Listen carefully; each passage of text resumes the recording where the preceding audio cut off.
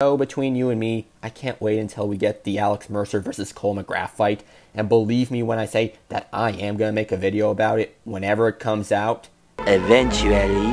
Hello and welcome. This is Faceless Opinion and it is time for a death battle. Welcome you back to another video.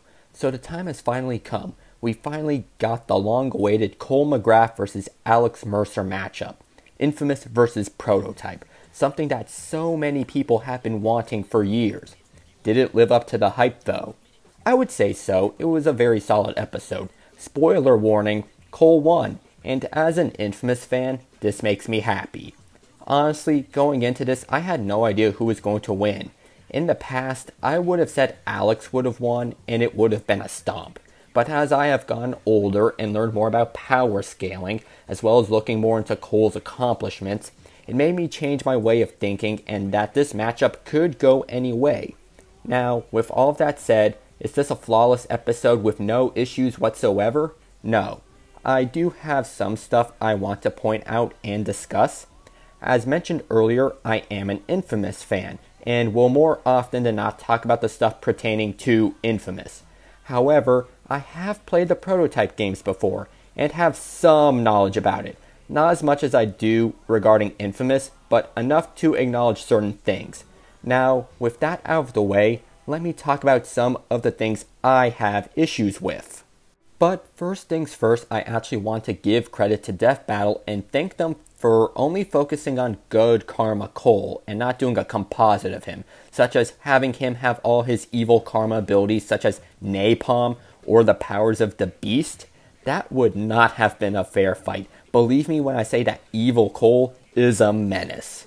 However, that isn't the only thing that Cole has going for him, as during the Festival of Blood DLC, which is non canon by the way, Cole becomes a vampire and gains new vampiric abilities. Or if they decide to factor in scaling and feats that Cole has from PlayStation All Stars Battle Royale, man, I haven't thought about that game in a long time. Does anyone remember that game? Sorry, I got sidetracked. Like I said, I am glad that they didn't do a composite. I like an even playing field when it comes to versus battles. Now, let me start off with some minor nitpicks. Cole is not known as the savior of Empire City. He's actually called the demon of Empire City, as that was a derogatory term used by Joseph Bertrand in Infamous 2 to, no pun intended, demonize Cole. Under the power section for what Cole can do, they have Arc Lightning listed, and that is incorrect as Arc Lightning is exclusively an evil karma power. And since this is good karma Cole, he does not have that. One thing I want to mention on the prototype side of things is why do they have Peter Randall on the list of people that Alex defeated? He is an old general with one arm. He did not provide any type of challenge compared to the others on that list, such as Specialist Crossed, Elizabeth Green, and the Supreme Hunter. I don't recall having a fight with him.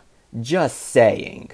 Rails like Shadow the Hedgehog. Read your mind like Goku's muffin button. Charge up with extra karmic energy, also like Shadow the Hedgehog, and generate force fields like Shadow the Hedgehog being the ultimate being. Oh, oh, like Shadow the Hedgehog. By Why do they keep mentioning Shadow the Hedgehog? For real, they said his name four times. What is this supposed to be a hint telling us that Shadow is going to be in a future death battle? His fourth death battle? Coincidence? I think not! Yeah, that's no coincidence. Now, one thing that I felt like was kinda glossed over would be them talking about the Beast, as they didn't really go that detailed into it. The Beast, just like Alex, survived a nuclear blast.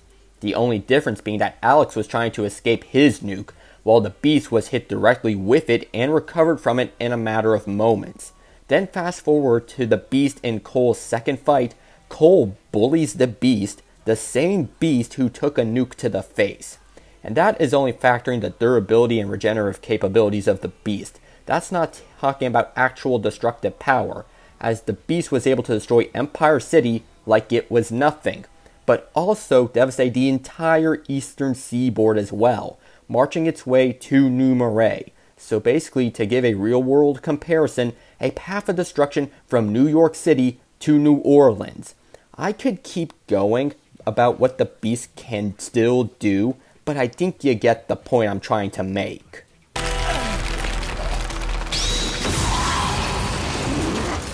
Good idea.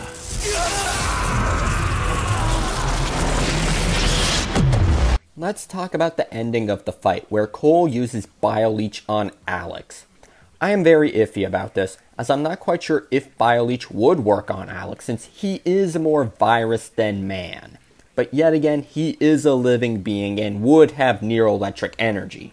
Then you have the pop up in the corner that say that Bioleech could negate Alex's regeneration, which yet again I am skeptical about. If someone can make sense of this on whether Bioleech would work on Alex or not, let me know because I honestly have no clue.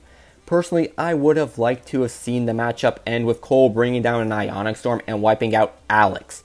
Like that. But it's not that big of a deal, so it is what it is.